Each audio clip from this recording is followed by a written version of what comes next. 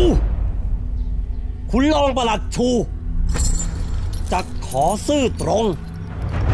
จงรักภักดีต่อแผ่นดินอโยธยา ตราบจนชีวิตของกูจักห้ามไม่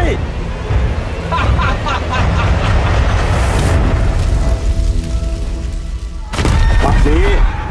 กองทัพข้าศึก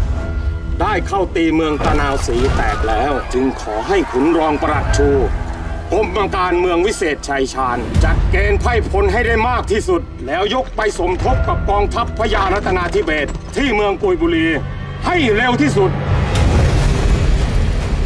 อิติปิโสวิเศษ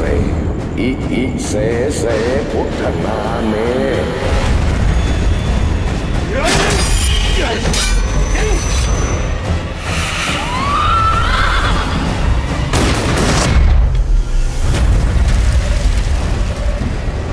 ลงดาบอาธมาศเมื่อคลาสงบนิ่ง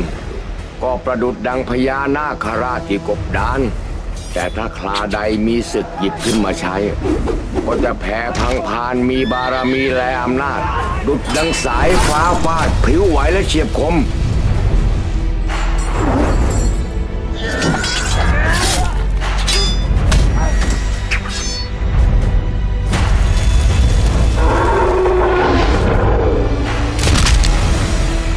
จงจำคำข้าให้ดีเถิด